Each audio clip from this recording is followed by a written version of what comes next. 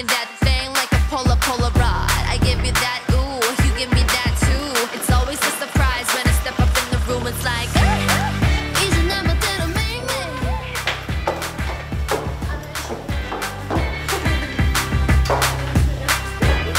안녕하세요 여러분 소미입니다 오늘은 제 19번째 생일 팬미팅 현장에 와 있습니다 Okay, okay.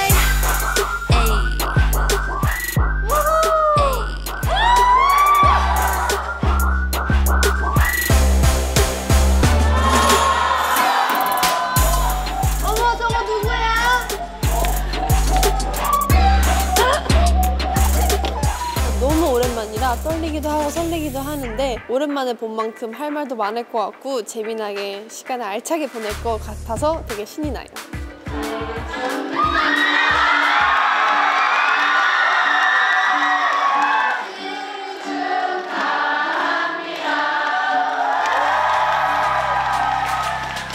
가족 이외, 친구 이외에는 처음으로 이렇게 팬분들이랑 보내는 시간이었는데요. 생일에 뜻깊게 보내니까 너무 좋고 다 잊을 수 없을 것 같은데 팬들이 조금 더 저랑 가까워진 것 같아서 그게 조금 많이 좋은 것 같아요.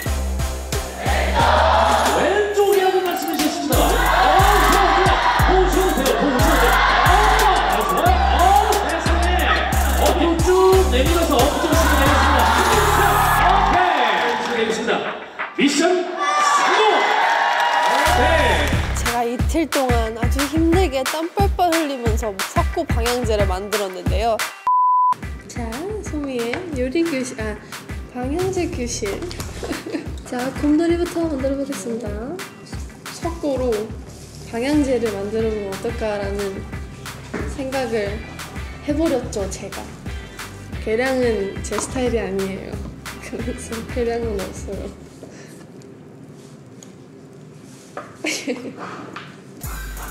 너무 예쁘다 그쵸? 맞아요.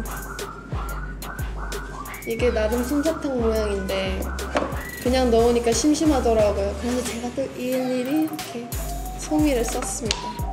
엄청 생생내죠? 그래서 하면은 걸으면은 아주 향기가 너무 많이 나서 머리가 아플 지경에 방향제가 만들어졌어요. 그럼 이거를 많이 간직 오랫동안 해주시면 답니다요. 어, 선물은 내가 받아가는 것 같아, 소미야. 이래서, 맞아요. 이랬어요. 그 오랜만에 만나 뵙게 되어서 너무 좋았고요. 오늘 신나게 놀다 가셨으면 좋겠고, 집들 조심히 들어가시고요. 감사합니다.